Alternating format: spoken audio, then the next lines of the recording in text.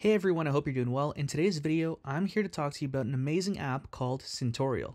So what is Syntorial? Syntorial is an innovative and straightforward approach to learning sound design on synthesizers. You learn through a guided lesson path which includes quizzes and challenges that offer you a hands-on approach to learning sound design. At the time of making this video, Syntorial retails for about $172.99 Canadian, which is equivalent to approximately 136 USD. You can find Syntorial by heading over to the Syntorial.com main page. Here you have the option of buying Syntorial or trying it for free. I highly recommend you try for free first before you commit to actually buying it. When you try for free, you get access to the first 22 lessons in the series, which really gives you a taste of what Syntorial is all about. If you like the free version, you can head on over here to the Buy Now button, click it, and it gives you the option to buy Syntorial. What I really like about this is that if you scroll down, it gives you several different buying options. So you can pay in installments if you want to finance it, essentially. You can also get an educational discount if you're a student or a teacher. And one thing that I really like is it gives a discount to people with disabilities who may be living on reduced incomes. When you first open up Syntorial, it looks a little something like this. You have a blue progress bar in the middle of your screen that shows how many lessons you've completed out of the lessons that are available. It also shows you what your next lesson is and gives you a start lesson button to immediately launch that lesson. On the left, you'll notice different chapters. There are currently 33 chapters within Syntorial.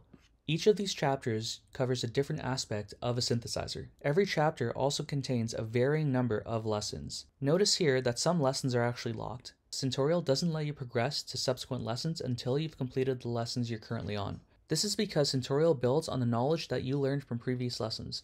So moving on to the next lesson wouldn't make any sense if you didn't really understand anything that came before it. The blue bar to the right of the chapter name and the stars beside the lessons indicate how well you did on that specific lesson and the chapter overall. Notice here I got perfect in chapter number 1, which is why my blue bar is full. However, in chapter number 5, I didn't do so well.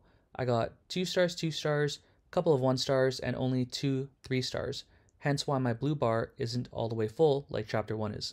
A chapter generally consists of these lesson videos saw and pulse waveforms.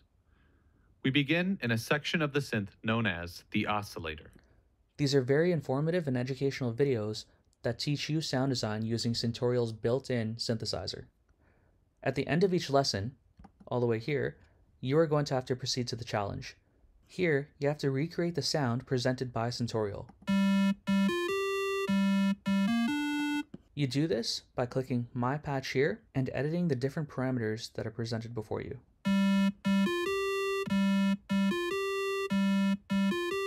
When the sound matches up and you feel like you've got it right, click Submit.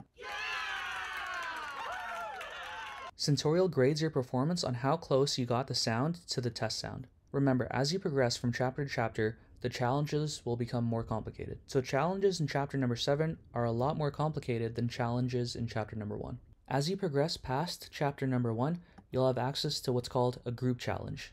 Group challenges require you to manipulate all of the parameters of the synth that you've learned thus far.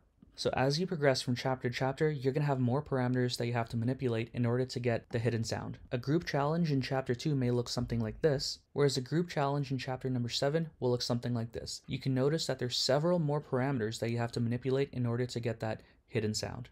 The reason for this is what I said before. Syntorial builds on your knowledge that you've gained from previous chapters.